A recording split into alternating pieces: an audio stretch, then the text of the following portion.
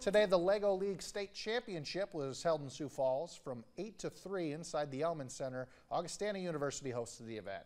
The goal is to introduce children from second grade up through ninth grade about science, technology, engineering, and math.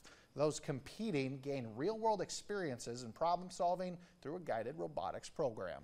You get to like you get to build stuff with your teammates and learn more things about them and help them when they get mad and why I like being do, being on a robotics team is because you get to like build stuff and program. We just make a lot of new friends, meet up with old friends from different teams, see how different teams have changed over the years. 28 teams from across the state competed to showcase this year's theme of Masterpiece, exploring how technology communicates art all across the globe.